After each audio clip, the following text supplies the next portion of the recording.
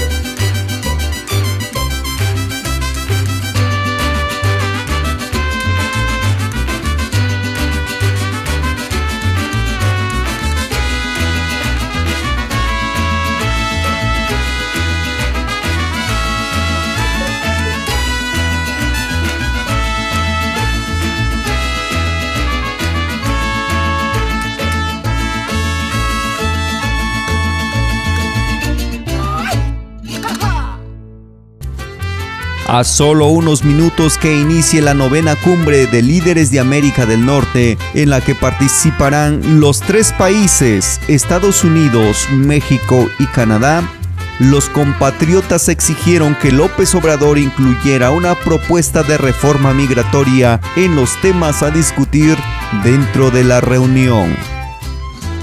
Los connacionales llegaron a Washington, D.C., la capital estadounidense, desde Los Ángeles, Chicago y Nueva York, buscando que las peticiones sean escuchadas, pues aseguraron que estarán buscando regularizar su situación migratoria para poder residir y laborar en los Estados Unidos de forma legal.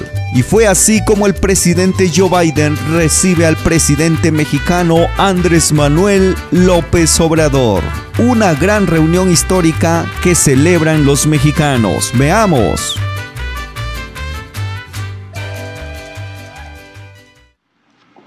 Well, it's an honor. Uh, Es un honor,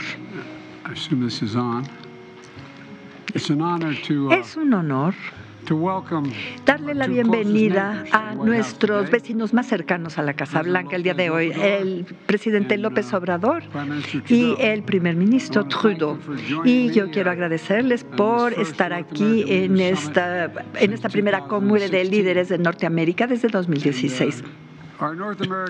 Y nuestra visión para Norteamérica a futuro eh, se basa en nuestras fuerzas compartidas y en la democracia, nuestras poblaciones dinámicas que van a trabajar conjuntamente y vamos a poder reunirnos y vamos a poder manejar todos los retos que se eh, pongan frente a nosotros y tomar después de la pandemia acciones decisivas y poder reducir el cambio climático, incluso eh, llevar adelante una recuperación, un repunte económico y también manejar los retos de la migración y los beneficios que podríamos sacar y manejar los eh, retos de la migración en nuestro hemisferio y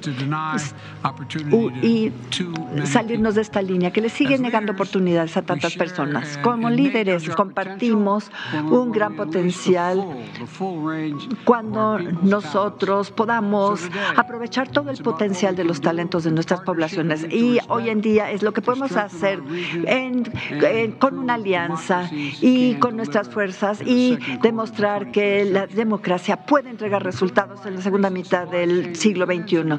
Y con la resiliencia, protección a los trabajadores y mejorar la ciberseguridad y ayudar a las PMEs a que florezcan en el hemisferio norte.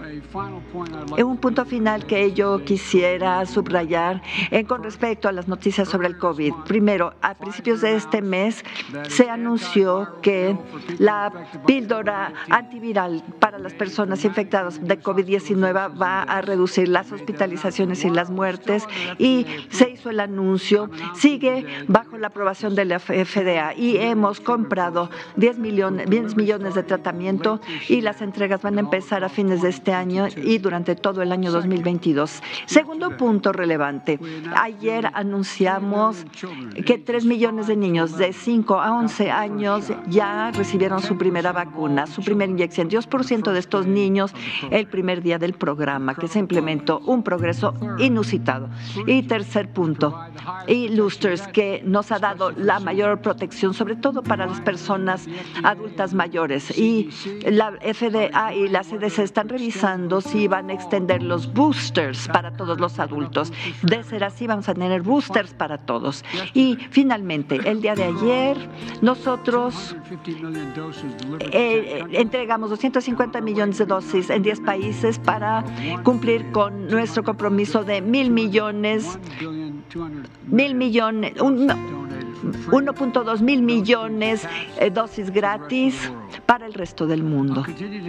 Y seguimos llevando a cabo los pasos para salvar vidas en el marco de esta pandemia y ahora invito al primer ministro Justin Trudeau para que nos dirija unas palabras. Señor ministro, tiene usted la palabra. Muchas gracias, señor presidente. Yo quiero empezar diciendo que todos estamos pensando acerca de las personas en British Columbia, en Columbia Británica, que se han visto devastadas por las inundaciones. Yo se lo comenté al presidente eh, temprano esta mañana y yo est- estamos haciendo todo en Columbia Británica para ayudar a nuestros eh, vecinos en esta situación tan grave. Y gracias, eh, presidente Biden, por organizar esta primera cumbre después de 2016 y cuando yo recibí a los líderes en Ottawa y es un placer estar aquí rodeado de amigos y aquí con nuestro- el presidente López Obrador. Somos tres países que tienen eh, vínculos fuertísimos de amistad con nuestra visión, nuestros valores,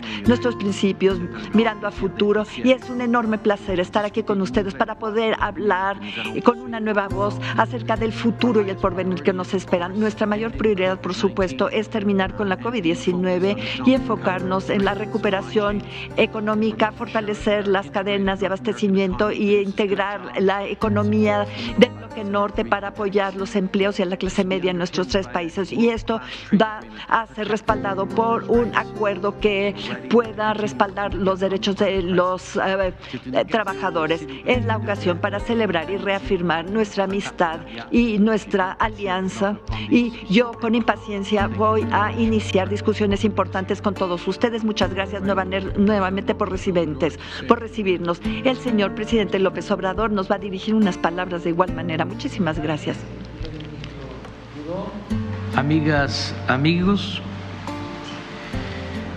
no cabe duda que la firma y la ratificación del Tratado de México, Estados Unidos y Canadá ha sido una acertada decisión en bien de nuestros pueblos y naciones.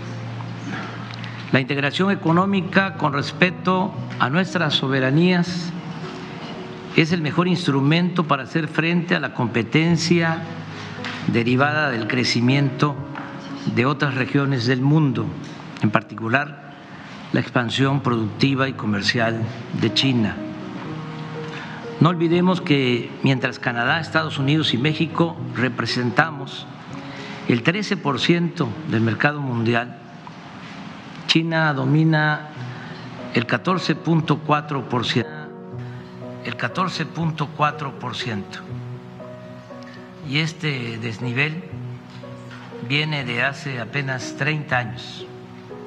Pues en 1990 la participación de China era de 1.7% y la de América del Norte del 16% de mantenerse la tendencia de la última década, en otros 30 años, para el 2051, China tendría el dominio del 42% del mercado mundial. Y nosotros, Estados Unidos, México y Canadá, nos quedaríamos con el 12%, lo cual, además de ser una desproporción inaceptable en el terreno económico, mantendría viva la tentación de apostar a resolver esa disparidad con el uso de la fuerza, lo cual nos pondría en peligro a todos. Por eso, lo mejor, lo más conveniente, es fortalecer nuestras economías, fortalecernos comercialmente en América del Norte y en todo el continente. Las ventajas son muchas, entre otras, contamos con fuerza de trabajo joven y creativa, con desarrollo tecnológico y con una gran riqueza de recursos naturales. La distancia entre nuestros países nos permiten ahorrar en transporte y existe suficiente demanda en nuestros mercados. El consumo per cápita de América es de 18 mil 100 dólares anuales, mientras que en Asia es de 4 mil 400 dólares. Sin embargo, en la actualidad, un consumidor en nuestra región tiene que ponerse en lista de espera para adquirir un electrodoméstico o un automóvil porque no hay semiconductores, chips, entre comillas, o porque aumentó el precio del transporte marítimo, cuando el problema de fondo es que no estamos produciendo lo suficiente y estamos obligados a importar mercancías de otros países. Es una paradoja que haya tanto circulante en América del Norte y los puertos del Pacífico estén saturados de mercancías procedentes de Asia. Agréguese el impacto inflacionario que eso acarrea. ¿Por qué no podemos producir en América del Norte lo que consumimos? Claro que sí. Es asunto de definición y de estrategia económica regional. Desde luego esto pasa por planear conjuntamente nuestro desarrollo y por impulsar un programa de inversión productiva en América del Norte para la sustitución de importaciones. Deben definirse de manera conjunta objetivos muy precisos y hacer a un lado mitos y prejuicios. Por ejemplo, dejar de rechazar a migrantes cuando para crecer se necesita de fuerza de trabajo que en realidad no se tiene con suficiencia ni en Estados Unidos ni en Canadá. ¿Por qué no estudiar la demanda de mano de obra y abrir ordenadamente el flujo migratorio? En fin, el tratado comercial es un valioso instrumento para consolidar nuestros procesos productivos, aprovechando el gran potencial que representa el mercado interno, el cual nos permitirá desarrollarnos como ninguna otra región en el mundo en beneficio de nuestros pueblos y naciones.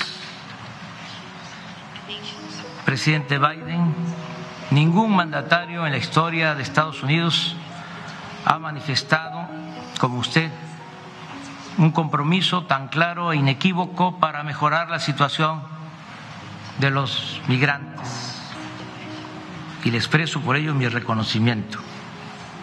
Me refiero particularmente a su propuesta de regularizar la situación migratoria de 11 millones de personas que viven y trabajan honradamente en esta gran nación. Deseo que usted cuente con el apoyo del Congreso y de los legisladores, tanto del Partido Demócrata como del Partido Republicano.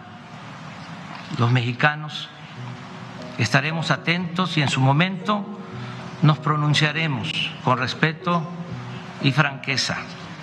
Y también sabremos corresponder con gratitud y amistad. Presidente Biden, primer ministro Trudeau, seguramente coincidimos que nos tocó vivir tiempos interesantes de adversidad y desafíos. Pero es así como emerge la creatividad y la pasión para transformar y hacer historia. Enhorabuena. Muchas gracias. Thank you. Muchas gracias.